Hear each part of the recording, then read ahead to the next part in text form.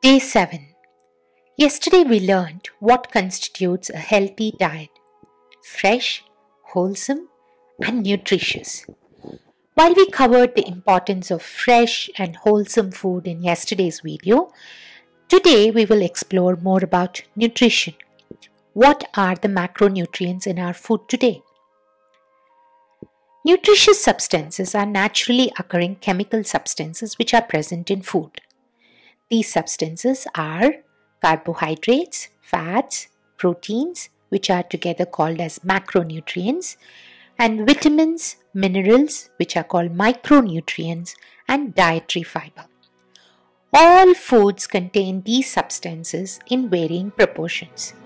Certain foods may contain singularly one particular macronutrient in large proportion. Examples are table sugar containing mostly carbohydrates or oils containing mostly fats, etc.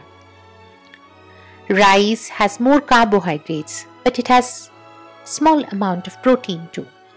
While pulses like legumes or dals have higher protein content. So by combining such foods, for example, rice with dal, we inherit the nutrients from both the foods. Our aim should be to take foods which have a balanced proportion of all three nutrients. A good example of a balanced meal would be a combination, say, of rice, dal, and cooked vegetables, along with a salad. The, a diet should focus on providing all the nutrients that your body needs.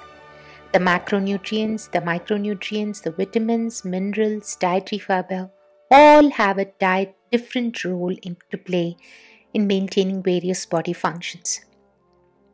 Most dietary guidelines emphasize on having food which is 45 to 65% carbohydrates, 20 to 35% fat, and remaining 10 to 35% of proteins. However, instead of focusing on percentages, as these can be often very confusing for people, especially beginning in their journey, it is best to look at your plate and make sure that more than 50% of it is filled with fruits and low starch vegetables in the form of salads, raw food, etc. This colorful, healthy combination will provide you with adequate doses of dietary carbohydrates, vitamins, and minerals. Add in a few beans and toss some nuts to get your protein and fat for the day. How do we make sure we get a balanced diet containing all three macronutrients and micronutrients? Make sure you get a combination of all major food groups fruits and vegetables, cereals and pulses, fats and oils. Without a need to keep count, it is acceptable if you consume cereals, pulses, and fats in the morning and just fruits and vegetables in the evening. I'll discuss each macronutrient in detail in upcoming videos dive deep to know in what form they exist in nature. How can we effectively harness them? Their functions in our body.